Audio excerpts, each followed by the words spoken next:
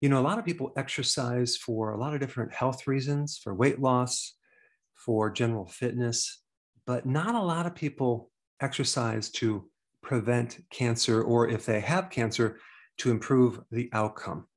I have some really interesting data that I'm going to share with you that not only shows an interesting connection, but why it decreases the risk for cancer is very interesting. Study after study, and I'll, I'll put quite a few studies down below, shows a major decrease in risk of getting endometrial cancer, colorectal cancer, prostate cancer, breast cancer, lung cancer, ovarian cancer, gastric cancer. Did I mention breast cancer? I think I did.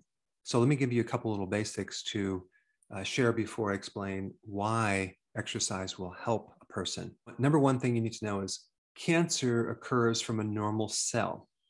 Somehow, for various reasons, the mitochondria become damaged, and then the cell switches, flips its metabolism to the fermentation of things like glucose. So a normal cell uses a lot of oxygen. A cancer cell in the fermentation process is done without oxygen. So it's anaerobic. So we have a normal cell, uses a lot of oxygen, and cancer cell doesn't have to use oxygen at all it ferments things. Now, another difference between a normal cell and a cancer cell is that a normal cell has a lot of mitochondria. In a cancer cell, there's not a lot of mitochondria. Okay, those are damaged or not working.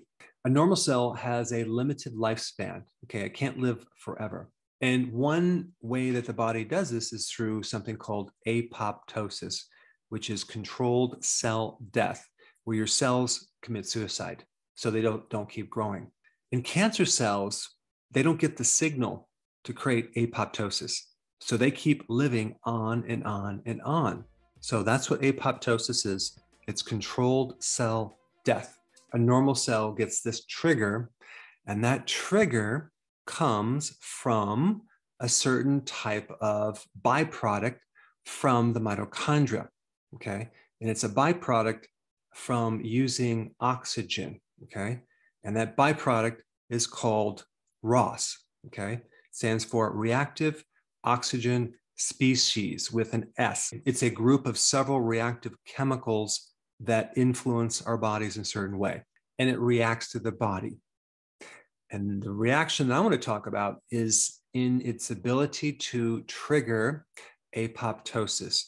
So, ROS triggers the cells to commit suicide. In cancer cells, you have a deficiency of ROS. In normal cells, you have an abundance of ROS. So, to make this really simple, the more oxygen that you can give your cells, the more ROS or reactive oxygen species that you have to trigger apoptosis. This is why things that have low oxygen enhance cancer, okay? Like smoking, for example, um, you're decreasing oxygen in the body. Like an infection, that's a low state of oxygen in the body. Like inflammation, okay? Why do you think cancer invades areas of inflammation? Because there's less ROS to trigger the apoptosis and it can grow more. This is another reason why cancer tends to grow in areas of old injury, too. And if someone's smoking and irritating the lungs, that would be like micro trauma. Now, in chronic stress states, you have a lowered amount of oxygen. In a high glucose state, so if someone's a diabetic, or maybe they're consuming a lot of carbohydrates and running on their bodies on sugar or carbs, that's a lower oxygen state than uh, a state where they're burning uh, ketones or your fat. But this next thing is very interesting. Why is it that when they do research on synthetic antioxidants like beta carotene and alpha tocopherol, which is vitamin E, or the synthetic versions of these vitamins, that there is an increased risk of cancer. Could it be that these synthetic antioxidants or antioxygen chemicals lower the oxygen, thereby lowering the apoptosis in cancer cells? Well, I think that's really what occurs because in the studies that show that these antioxidants worsen cancer, they, they always use synthetic. They don't use the natural um, version. And so it's important to understand this because if you have cancer or you want to prevent cancer, there are things that you can do to um, slow things down or hopefully prevent things. Okay. Number one, you know, get on a ketogenic diet, of course, get your, your dietary sugars way down. Maybe you want to do the hyperbaric oxygen chamber. Okay. That's one thing you could do.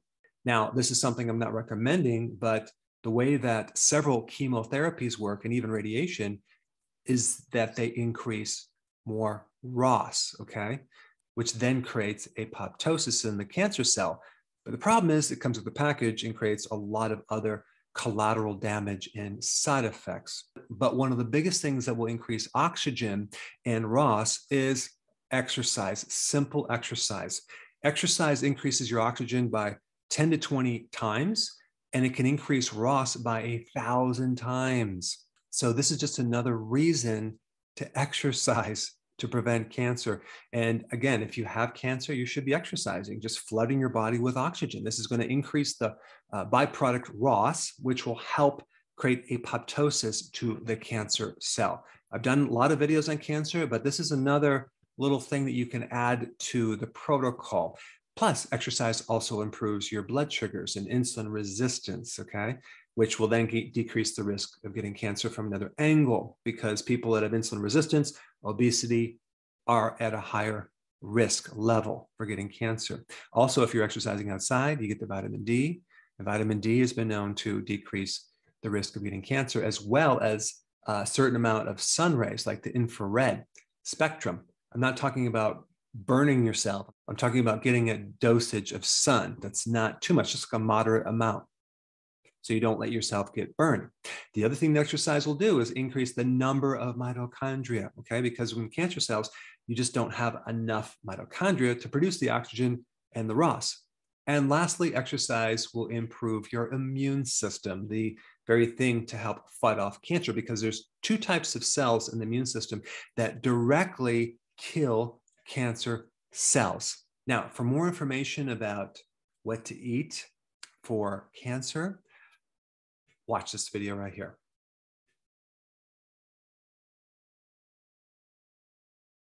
Before you go real quick, I have a course entitled How to Bulletproof Your Immune System. It's a free course. I want you to take it. And here's why.